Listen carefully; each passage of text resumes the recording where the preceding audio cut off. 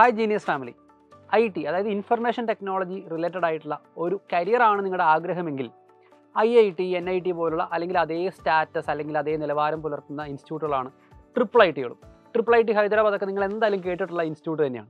സാധാരണ എല്ലാവരും വിചാരിക്കുക ഈ ട്രിപ്പിൾ ഐ ടിയിലേക്കുള്ള അഡ്മിഷൻ എന്ന് പറയുന്നത് ജെയ്മെൻ എക്സാം എഴുതിയ ശേഷം ജോസ വഴിയാണെന്നാണ്. പക്ഷെ അതല്ലാതെ മറ്റൊരു ഓപ്പർച്യൂണിറ്റി കൂടി നിങ്ങൾക്കുണ്ട്. അതായത് പ്ലസ് ടു കഴിഞ്ഞ ഒരാൾക്ക് ജെയ്മെൻ എക്സാം അല്ലാതെ മറ്റൊരു എക്സാം വഴി ആ എക്സാമിന്റെ പേരാണ് U G E E exam ഈ എക്സാം വഴി നിങ്ങൾക്ക് ട്രിപ്പിൾ ഐ ടിയിലേക്ക് അഡ്മിഷൻ നേടാം. യു ജി ഇയുടെ ഫുൾ ഫോം എന്ന് പറയുന്നത് അണ്ടർ ഗ്രാജുവേറ്റ് എൻട്രൻസ് എക്സാമിനേഷൻ എന്ന് മാത്രമാണ്. സോ ഈ എക്സാം ഏത് തരം കോഴ്സിലേക്കാണ് നിങ്ങളെ ലീഡ് ചെയ്യുന്നുള്ള കാര്യം നിങ്ങൾ അറിഞ്ഞിരിക്കണം. So U G E exam എഴുതി നിങ്ങൾ ട്രിപ്പിൾ ഐ ടിയിലേക്ക് അഡ്മിഷൻ എടുക്കുക. ഫൈവ് ഇയർ ഡ്യുവൽ ഡിഗ്രി പ്രോഗ്രാമിലേക്കാണ് ഈ ഡ്യുവൽ ഡിഗ്രി പ്രോഗ്രാം എന്ന് പറഞ്ഞാൽ എന്താ? നിങ്ങൾക്ക് പോസ്റ്റ് ഗ്രാജുവേഷനും കിട്ടും അണ്ടർ ഗ്രാജുവേഷനും കിട്ടും. സാധാരണ ജെയ് മെയിൻ വഴി നിങ്ങൾ സാധാരണ രീതിയിൽ അഡ്മിഷൻ എടുക്കുകയാണെങ്കിൽ നിങ്ങൾക്ക് കിട്ടുക അണ്ടർ ഗ്രാജുവേറ്റ് കോഴ്സുകളിലേക്കുള്ള അഡ്മിഷൻസ് ആണ്. Again triple I T offer ചെയ്യുന്നത് രണ്ട് എഞ്ചിനീയറിംഗ് സെഗ്മെന്റുകളാണ് കമ്പ്യൂട്ടർ സയൻസും ഉണ്ട് ഇലക്ട്രോണിക്സ് ആൻഡ് കമ്മ്യൂണിക്കേഷൻ എഞ്ചിനീയറിംഗും ഉണ്ട്. യു ജി ഇ എക്സാം വഴിയും നിങ്ങൾക്ക് അണ്ടർ ഗ്രാജുവേറ്റ് കോഴ്സിലേക്ക് കടക്കാം. അവിടെ ഈ പറഞ്ഞ പോലെ കമ്പ്യൂട്ടർ സയൻസും ഇലക്ട്രോണിക്സ് ആൻഡ് കമ്മ്യൂണിക്കേഷൻ എഞ്ചിനീയറിംഗും ആയിരിക്കും നിങ്ങൾക്ക് അണ്ടർ ഗ്രാജുവേറ്റ് ലെവൽ ഉണ്ടാവുക. അണ്ടർ ഗ്രാജുവേഷൻ എന്ന് പറയുന്നത് ബി ടെക് ആണെന്നുള്ള കാര്യം ശ്രദ്ധിക്കുക. പോസ്റ്റ് ഗ്രാജുവേഷൻ എന്ന് പറയുന്നത് എം ടെക് അല്ല എം എസ് സി ക്വാളിഫിക്കേഷനാണ് നിങ്ങൾക്ക് ലഭിക്കുക. അഗെയിൻ ഇലക്ട്രോണിക്സ് ആൻഡ് കമ്മ്യൂണിക്കേഷൻ കഴിഞ്ഞ ഒരാൾക്ക് അതേ സെഗ്മെന്റ് ഇലക്ട്രോണിക്സ് ആൻഡ് കമ്മ്യൂണിക്കേഷൻ തന്നെ പോസ്റ്റ് ഗ്രാജുവേഷൻ എടുക്കാം.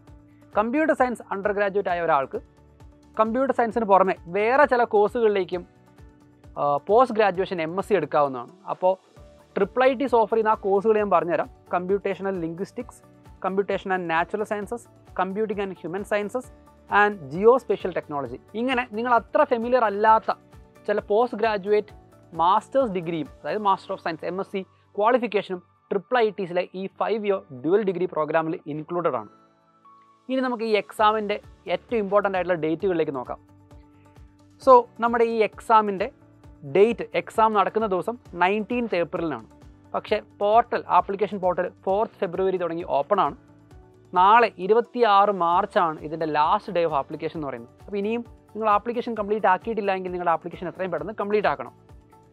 എക്സാം നയന്റീൻ എന്നാണ് പറഞ്ഞു. അപ്പോൾ ഒരിക്കലും വിചാരിക്കരുത്. എക്സാം കഴിഞ്ഞു ക്വാളിഫൈ ആയി കഴിഞ്ഞാൽ നിങ്ങൾക്ക് നേരെ അഡ്മിഷൻ പ്രോസസ്സിലേക്ക് കടക്കാം. അങ്ങനെയല്ല. അഡ്മിഷൻ മുൻപ് നിങ്ങൾക്കൊരു സെപ്പറേറ്റ് ഇന്റർവ്യൂ കൂടിയുണ്ട്. ഈ ഇന്റർവ്യൂ എന്തിനാണെന്നും കൂടെ പറയാം.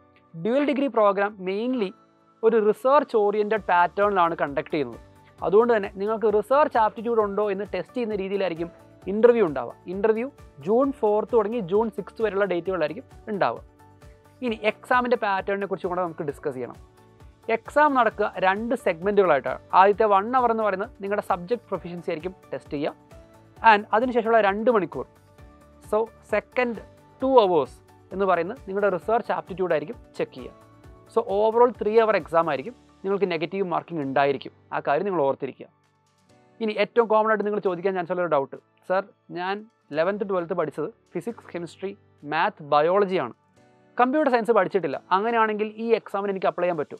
പറ്റും. ഒരു കുഴപ്പമില്ല നിങ്ങളുടെ സബ്ജക്ട് പ്രൊഫിഷ്യൻസി ടെസ്റ്റ് ചെയ്യുന്ന സമയത്ത് കമ്പ്യൂട്ടർ സയൻസുമായിട്ട് റിലേറ്റഡ് ആയിട്ടുള്ള ഒരു കാര്യം നിങ്ങളോട് ചോദിക്കില്ല. പകരം നിങ്ങളോട് ചോദിക്കുക ഫിസിക്സ് കെമിസ്ട്രി മാത്സ് ഈ മൂന്ന് സബ്ജക്റ്റുകളെ ബേസ് ചെയ്തുകൊണ്ടായിരിക്കും. ആപ്ലിക്കേഷൻ ഫീ ആയി വരിക മെയിൽ ആപ്ലിക്കൻസിന് മൂവായിരം രൂപയും ഫീമെയിൽ ആപ്ലിക്കൻസിന് ആയിരത്തി അഞ്ഞൂറ് രൂപയാണ്. കൂടുതൽ ഡീറ്റെയിൽസിന് വേണ്ടിയിട്ടും ആപ്ലിക്കേഷൻ കംപ്ലീറ്റ് ചെയ്യാനും നിങ്ങൾക്ക് ഈ കാണുന്ന വെബ്സൈറ്റ് സ്ക്രീനിൽ കാണുന്ന വെബ്സൈറ്റിലേക്ക് നിങ്ങൾക്ക് പോകാവുന്നതാണ്. എത്രയും പെട്ടെന്ന് നിങ്ങളുടെ ആപ്ലിക്കേഷൻസ് കംപ്ലീറ്റ് ചെയ്യുക. All the very best